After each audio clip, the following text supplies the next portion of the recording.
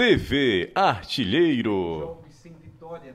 Essa vitória hoje alivia um pouco da pressão e dá mais confiança, valoriza o trabalho? Cara, assim, a, a pressão no futebol é sempre. O fato da gente ter ganho hoje não quer dizer que a gente possa no próximo jogo não ganhar de novo. Né? É, a minha avaliação ela é, ela é, sempre um pouco diferente da, das pessoas que avaliam só o resultado. É, eu acho que a gente era merecedor já é, de resultados diferentes é, nos jogos que nós não tivemos sucesso. Então, a gente trabalha, eu, eu passei essa tranquilidade para os atletas, para que eles pudessem, nesse momento de dificuldade, dar um passo à frente, não dar um passo atrás, de enfrentar aquilo que a gente ia enfrentar. E acho que, que foi muito merecido o resultado de hoje, sim, pela entrega, dedicação dos atletas, pela qualidade de jogo, organização tática. A gente teve uma infelicidade de perder o Richard, né, que é um, uma, substituição, uma substituição que a gente não gosta muito, não pensa muito em fazer, né, do goleiro. Mas acho que foi tudo muito bem. O jogo entrou também com, com muita personalidade, fez uma, uma, uma, um grande jogo, uma, grande defesa. E muito. Eu estou muito orgulhoso de todos eles. Agradecer muito o nosso torcedor, foi fantástico assim, a energia que eles passavam. Porque os jogadores, em determinado momento, eles estavam ali, né, lutando contra, as, contra o cansaço, contra as dificuldades, e o torcedor nos entusiasmou, nos, nos colocou para cima e uma vitória contra uma das melhores equipes do Brasil é muito representativa é, para todos nós. Não só pelo resultado positivo, mas os jogadores que você colocou nesse jogo, acho, em relação ao último jogo que foi contra o Goiás, foram cinco jogadores ah. que foram titulares lá e foram agora. É, não só pelo resultado positivo, mas eles te agradaram, mostraram aquilo que tu queria? Acho que em determinado momento, como eu te falei, assim, é, eu preciso ver esses atletas atuando. Não adianta ficar, não adianta a gente ficar aqui é, simplesmente mantendo uma base e, e, e, não conseguir observar esses atletas vestindo a camisa do Ceará. É, eu, eu, que eu consiga visualizar um pouco mais a atuação deles. Eu estou chegando no clube agora, né? É, por mais que tenha quase um mês, eu fiquei quase 12 dias fora daqui. E e eu preciso né, visualizar os encaixes que eu posso fazer e é só testando, não, a gente não pode ter medo disso. E os atletas vão perceber que a gente roda muito o elenco, a gente usa todos os atletas, né, sem medo nenhum de fazer as nossas escolhas. Então eu acho que isso foi um recado para que eles possam entender isso. Oi, Anderson. É, o Renato estava agora conversando com a gente, ele avaliou, ele disse que o resultado mais justo seria um empate. Qual a avaliação que você faz desse jogo? Qual, qual seria o, o, resultado? Você acha que o resultado foi justo? E em relação ao Richard, emendando já uma outra pergunta, em relação ao Richard, como é que ele está? Ah, ele é uma, é uma. A gente precisa de um pouquinho mais de tempo para poder fazer uma avaliação. Né?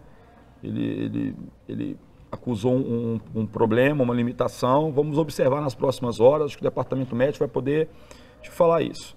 Em relação à questão de justiça, assim, Acho que o Grêmio é uma equipe que joga muito por dentro ali, uma equipe que, que tenta muitas jogadas por dentro. Eu não vi a equipe deles fazendo isso hoje.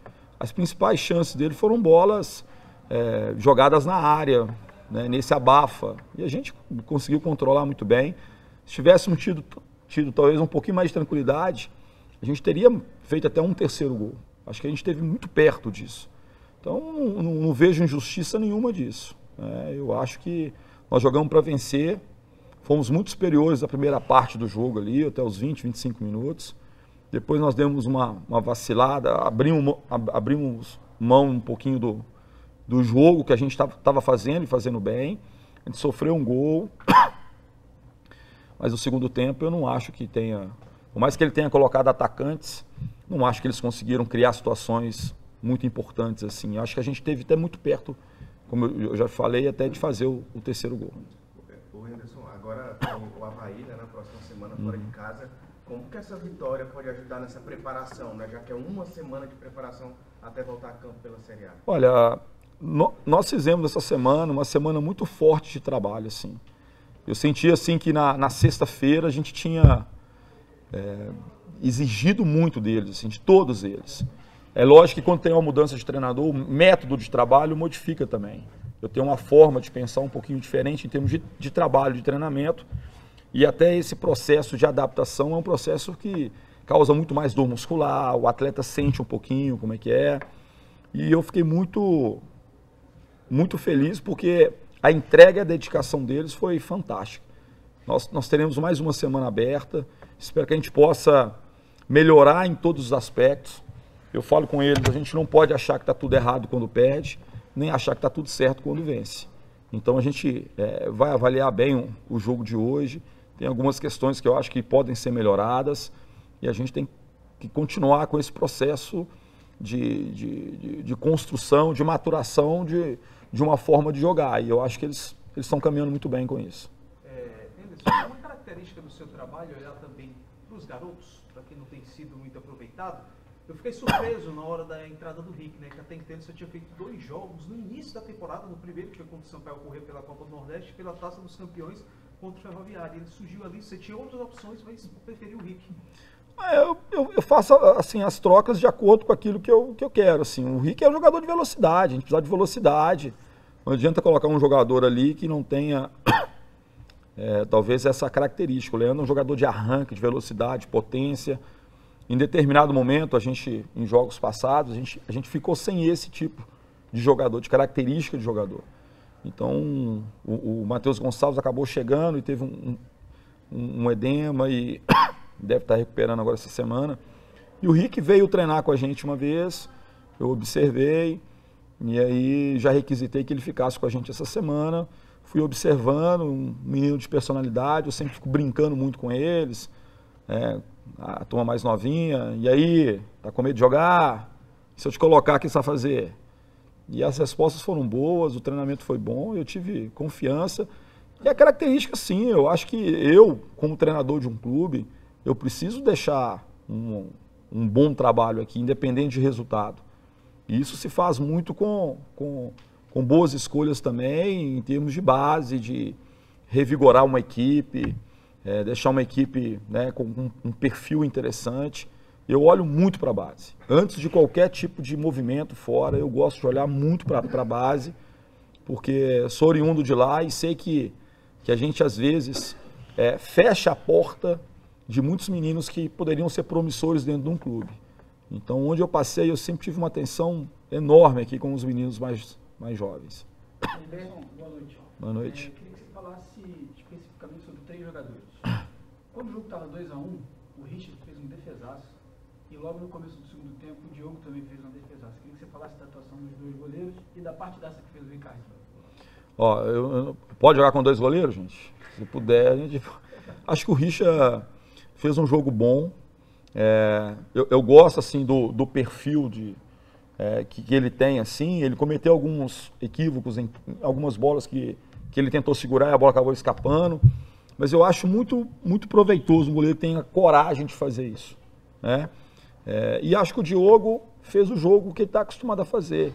Um goleiro muito frio, né? fez uma grande defesa. É, isso é fruto aí da, do nosso resultado, é, é, o goleiro né? fazer essas, essas grandes defesas, assim como o Richard também fez.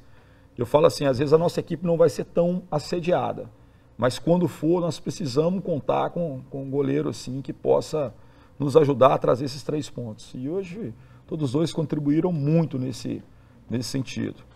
Acho que eu, eu não gosto de ficar falando individualmente, não, assim, né? Mas já que você falou, assim, acho que o Ricardinho é um jogador que, é, que merece todo o nosso respeito, admiração. É, foi fazer uma função um pouquinho diferente do que ele, ele vinha jogando tive uma conversa com ele, é um jogador muito inteligente, muito capaz de poder entender aquilo que a gente está tá pensando.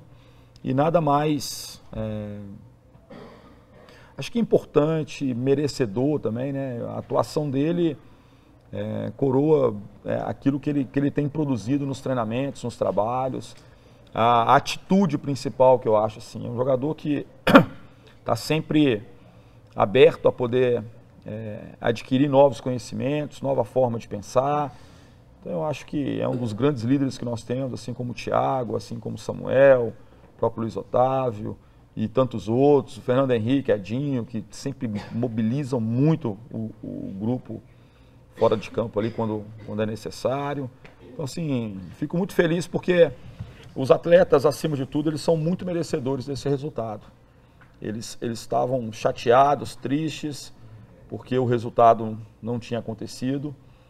é, e por, assim, detalhe, entendeu? 48 num jogo, 46 no outro. Isso machuca demais a gente, né? E machuca principalmente aqueles atletas que estão desempenhando, se dedicando ali dentro de campo.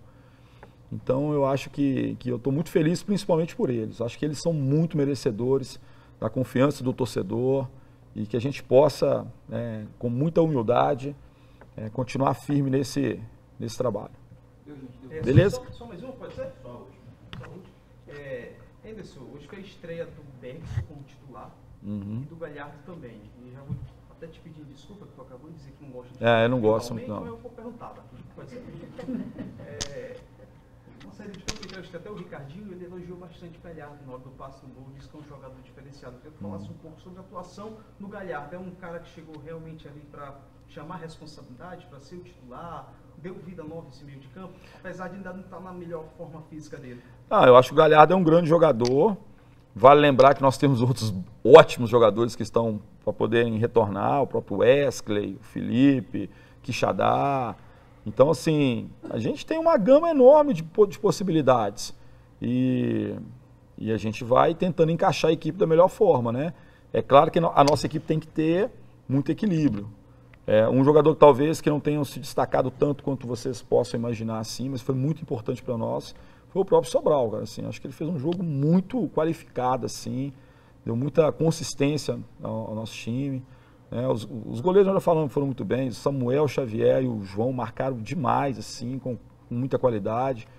Os zagueiros foram monstros hoje assim, né? Você vai avaliar bem assim o, o, o próprio Ricardinho nós já falamos, mas é, Fabinho, o próprio Leandro, que, que, né, trouxe muito problema ali pro, pro, pro Juninho Capixaba, é, o Bergson e o Thiago, né, que são o, o Galhardo, que são jogadores que estão estreando assim como titulares e foram extremamente decisivos, assim, eu acho, assim, pela competitividade, a entrega, a dedicação.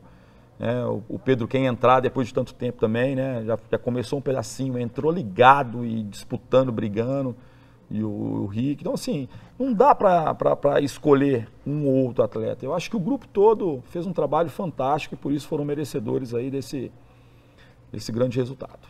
Ok? Gente, boa noite. TV Artilheiro.